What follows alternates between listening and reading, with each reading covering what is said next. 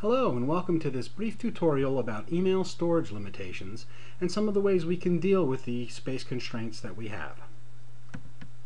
Now before discussing how we can deal with some of these constraints, allow me to briefly mention why we have some of them. Basically, if we didn't have the constraints, users would probably allow their email to just kind of fill up and fill up, and we'd run out of space pretty quickly. If we didn't manage the space we have for email, uh, then we continually have to purchase and add storage, and that really just doesn't make a lot of sense. It's not very cost effective, and our email services will also become slower and less efficient over time. So the first thing we should be aware of in order to deal with these uh, storage limitations is recognizing what kind of messages take up a lot of space, such as attachments with graphics, pictures, images, attachments with music, voicemail messages. These really take up quite a bit of space. For example, here we see a voicemail message and we see over here that it takes up 176 kilobytes as opposed to another message which takes up uh, much less space. For example, here's another one which has even a small image but takes up only 3 kilobytes. So voicemail messages are very large. Another type of email attachment that can take up a lot of space is video, which consists obviously of music and um, video, uh, visual images, and they can be very big. In addition to that, some email messages may not have an attachment, but will have a lot of graphics embedded in them, and they can also take up quite a bit of space as well. So one of the first things we can do to help prevent running out of space is to be sure to copy large files off to our network drive and delete the original email message.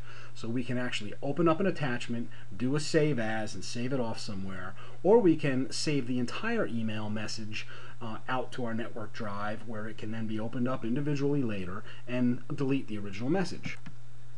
For example, here I have an email message with a lot of attachments and I could open up an individual attachment and do a file save as and save it out to my network drive and then go through and open up the rest of the attachments and save them individually if I wish to. But I could also click on the globe here and do a save as and then save these out onto the folder of choice and it would save the entire email message with the attachments which I could then open up later and I can then go ahead and delete this original message from my email box and save a lot of space. Another way to save space is to delete unnecessary or duplicate messages. If uh, you, know, you, get a message and it was just for informational purposes, you really don't feel you need to see to keep a copy of it, go ahead and delete it. And if you get a message, uh, for example, uh, something with a large attachment that was being distributed to a bunch of people just to make you aware of it, and you know where the original copy of those files is stored, you can go ahead and just delete the copy that you got because you really don't need it.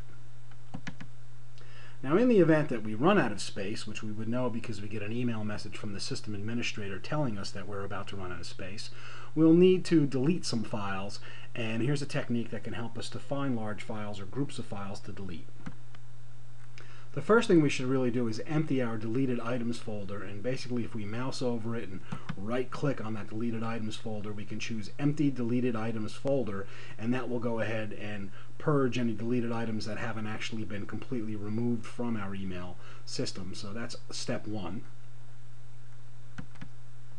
The next thing we can do to help us identify files to uh, that we might want to get rid of and will help free up a lot of space is to sort messages within a folder by size. And you may find you have a couple really big attachments and by deleting them you instantly free up a good deal of space. And the technique for doing this is to open a folder, right click on the sort column and select size and then delete the messages. Allow me to illustrate. Here I have a folder with messages in it that is sorted by date order and if I right click on this column here and choose size it's now going to uh, sort by size order. I'm going to go ahead and move right up to the top and see that the largest files have sorted up to the top and here I see these files that it's classified as huge and others as very large and so on and if I delete some of those maybe copy some of them off to the network and then delete them I'm going to save a lot of space quickly.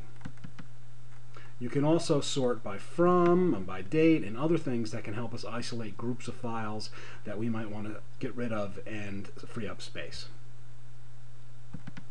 Be sure to empty your deleted items folder again after you've done this. This concludes this brief tutorial. Thank you very much.